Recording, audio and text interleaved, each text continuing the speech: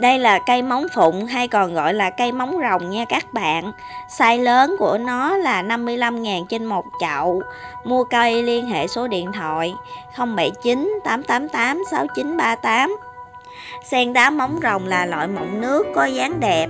Chúng là loài thực vật lâu năm với đặc điểm là những chiếc lá ngắn, mọc thành cụm, nhìn gần thì như không có thân. Những chiếc lá thon và nhọn dần đều về phía cuốn, được bao phủ bởi nhiều quạch trắng nằm ngang. Dùng tay sờ vào lá cây sẽ cảm nhận được sự sần sùi rất thích.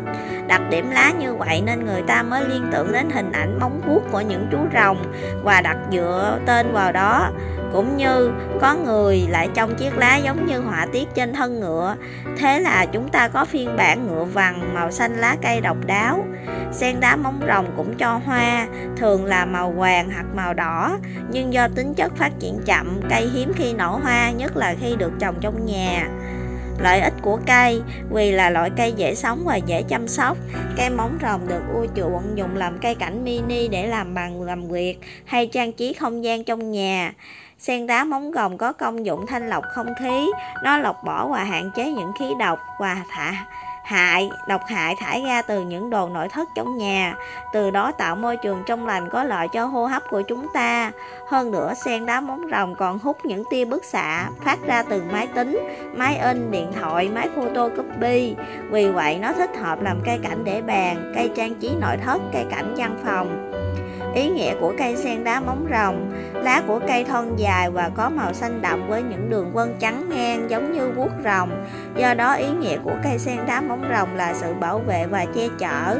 Khi để cây trên bàn làm việc, cũng giống như bạn đang giữ một chú rồng đang bảo vệ mình, Là lá bùa hộ mệnh cho bản thân. Bên cạnh đó, cây không chỉ là bạn mà còn lọc sạch không khí bảo vệ sức khỏe tốt Cuối cùng nó có rất có ý nghĩa dùng để làm quà tặng. Khi tặng cây cho ai nghĩa là bạn cầu chúc may mắn sẽ đến với họ. Thứ hai là mong muốn giữ mối quan hệ giữa hai người bền chặt lâu dài.